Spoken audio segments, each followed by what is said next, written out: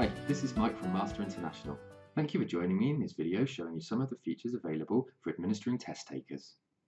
You can do most of the administration setup from the assessment screen that you see here. I'll start with some of the features available for individual responses. The first is the ability to rate a response out of 5. Choose a response and click on one of the five circles to set the rating.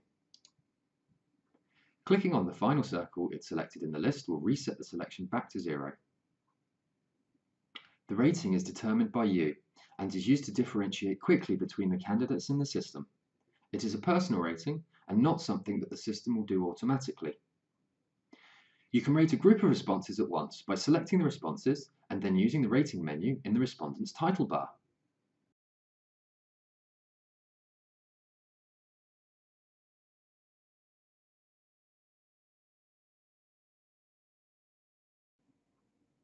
You can also set a person rating for each test taker.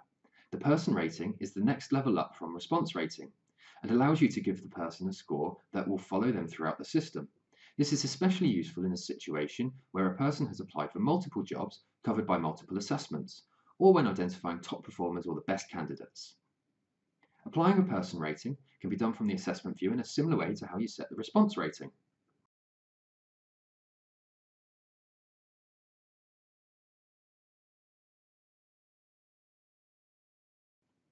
It can also be viewed and set directly from the people view or the person view directly.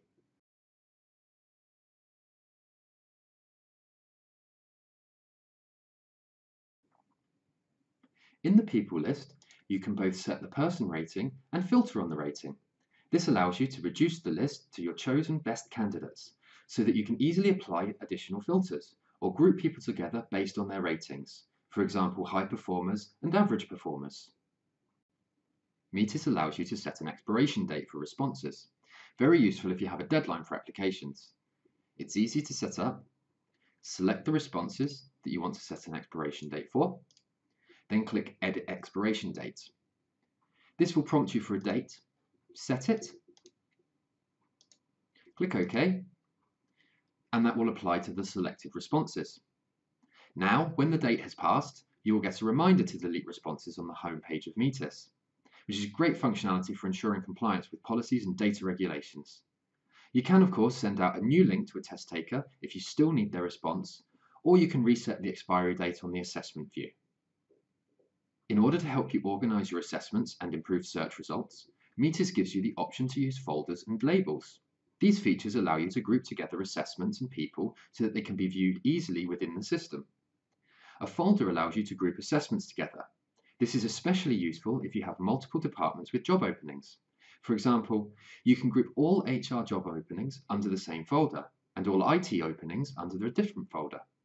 This means that you can have instant access to all the assessments and people for a related department or topic. It doesn't have to be split by departments, it can be anything you like, and I'll show you how that works now. A folder and a label can be applied directly to an assessment, a person, or a criteria. Each assessment, person and criteria can also belong to more than one folder or label as well. To apply a label or folder to an assessment, you first need to create them. We'll start with the labels.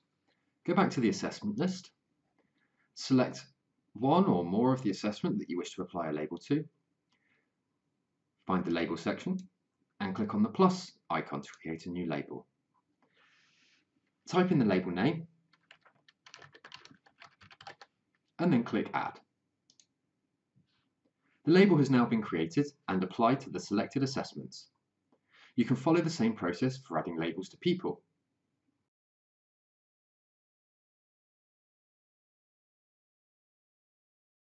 To add an assessment or a person to an existing label, you simply need to select the person that you would like to add, and then select the label from the list. The same process can be used to add labels to criteria.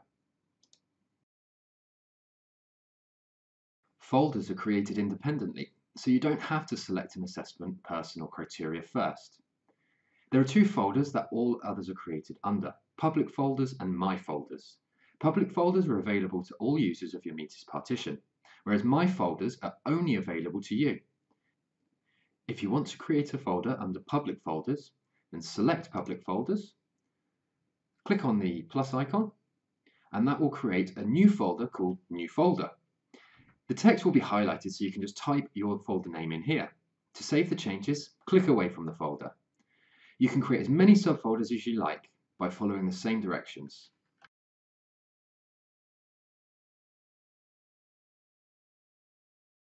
Renaming a folder is easy. Select the folder you wish to rename, and then click on the edit icon and then type your new name.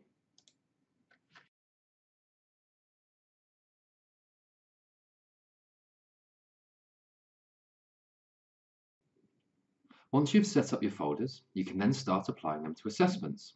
So open up an assessment, click on the Add to Folder drop-down, choose the folder you wish to add the assessment to, and then you're done. You can also drag and drop assessments from the assessment list into the folders to make everything a lot more easy.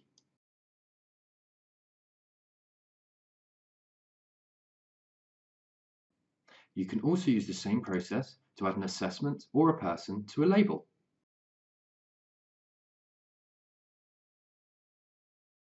To remove a label or a folder from an assessment or a person, open up the person or assessments, hover over the label or folder, and click the red X.